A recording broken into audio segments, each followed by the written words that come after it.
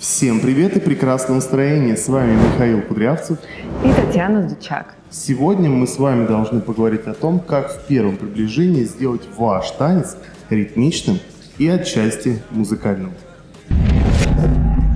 Итак, для того, чтобы ваш танец выглядел ритмично, даже при условии, что вы соединяете между собой базовые принципы диска Фокса, которые, как мы знаем, на три счета, и элементы, которые рассчитаны на 4 или 8 счетов, вместе складывались в гармоничный танец.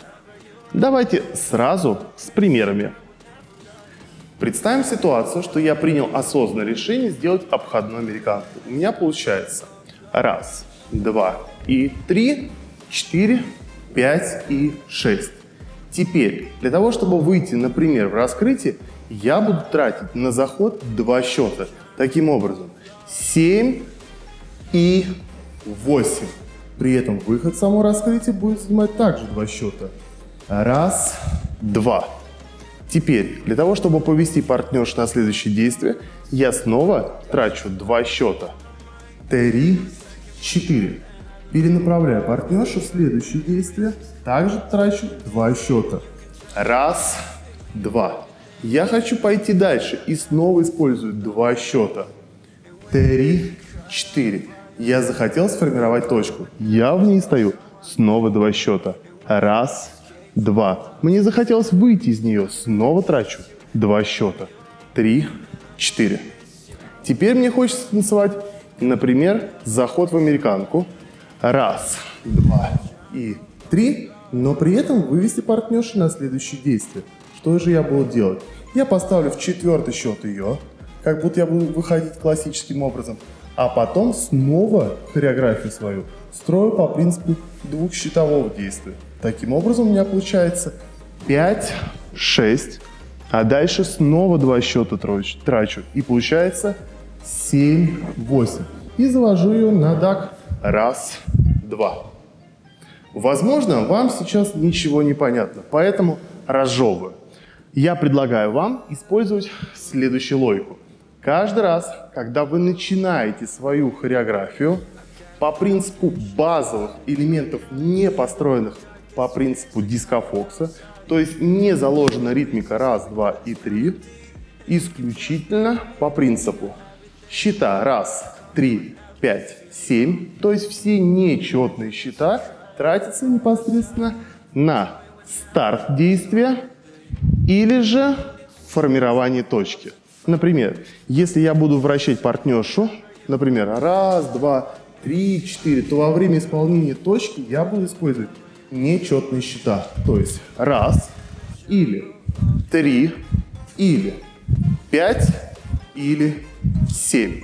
При этом счета 2, 4, 6, 8 я буду тратить непосредственно на нахождение в точке, а точнее, скорее всего, на преп я не могу позволить себе сделать, например, следующую логику. Раз, два, три, четыре, пять, шесть. Если вы, мужики, начнете исполнять именно такой паттерн поведения, то с большой долей вероятности ваш танец начнет становиться все сильнее и сильнее неритмичным. Мое наблюдение говорит о том, что большинство танцоров, пришедших в дискофокс, прошли через четверку, и у вас уже на базовом уровне заложено, что в сильные счета мы двигаемся, да, а на более слабые мы условно продолжаем то, что уже было создано. Поэтому эту логику мы переносим на дискофокс. Тогда вы танцуете любую хореографию и всегда считаете, где у вас четные счета, где нет. Давайте еще возьмем пример. Другую хореографию. Опять начну с базового принципа диска Фокса. Раз, два и три. И я хочу сформировать точку. Тогда я буду делать 4, а формировать точку, как мы с вами выяснили, в нечетный счет. 5. 6 я буду стоять, а точнее делать преп. Если же я не хочу на 7 идти дальше, тогда я в 5 пришел, в 6 я буду находиться здесь. В 7, 8 я сделаю какую-то другую хореографию в этой точке и пойду уже на э, переход в следующий нечетный счет. например, в счет раз. И опять-таки выход у меня будет раз, следующее действие продолжается два, а новое начинается снова в нечетный счет. Три, продолжается он четыре, а следующее действие начинается пять, шесть, то есть нечетный счет. Формирование точки также в нечетный счет. В четный я нахожусь в ней или же дотягиваю позицию, после чего в нечетный снова двигаюсь партнерша. Если я захочу перейти на базовый принцип дискофокса, я буду выдерживать ту же самую логику.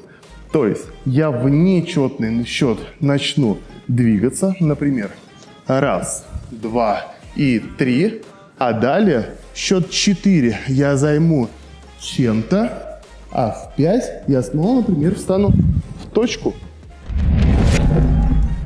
Если вам надоело быть неритмичным танцором, тогда приходи в школу танцев «Динамика», ведь мы с Татьяной и наши коллеги с огромным удовольствием сделают так, чтобы ваша ритмичность была на самом высоком уровне. Итак, у нас получается, что в нечетные счета мы либо начинаем движение, либо формируем конечную позицию. При этом в четные счета мы либо продолжаем то действие, которое начали в нечетные счета, либо находимся в той точке, которая уже была создана ранее. Такая логика с большой долей вероятности позволит вам танцевать элементы и квадратные, и элементы на три счета, соединять их между собой и быть ритмичным. И почему же это еще хорошо? Потому что с точки зрения базовой музыкальности – ваше движение, которое начинается в сильную долю, то есть раз, три, пять, семь, да, смотрится всегда более ярко, чем если бы вы начинали это же действие делать в четные счета. Поэтому и музыкальность становится чуточку, но лучше. Аналогичный принцип сохраняется в партии партнерши. Например, в элементе теневая позиция. На выходе из теневой позиции здесь, когда партнер Э, открывает слот партнерши и дает ей возможность выйти. Задача партнерши не шарашить в любой, какой попал счет, вот как только открылась дверь, сразу туда ломиться, а дождаться нечетного счета. Иногда партнер ведет здесь и непосредственно прям рукой дает понять, дорогая, идти надо вот сейчас. Иногда партнер не ведет и просто открывает партнерше такую возможность чтобы она пошла тогда, когда сочтет нужным. Так вот, нужно пойти желательно в счет раз, три, пять, семь. Самый хороший вариант, конечно, это счет раз. Вот тут вы не прогадаете. Если вы пошли а, раз, два, например, и три, вы точно попали в нужный квадрат. Сегодня мы постарались с вами поделиться своими наработками, как сделать так, чтобы ваш танец с большей вероятностью выглядел в разы ритмичным. Говорят, что традиции нужно соблюдать. Поэтому палец вверх, подписка на канал и нажатие на колокольчик обязательно в конце каждого ролика.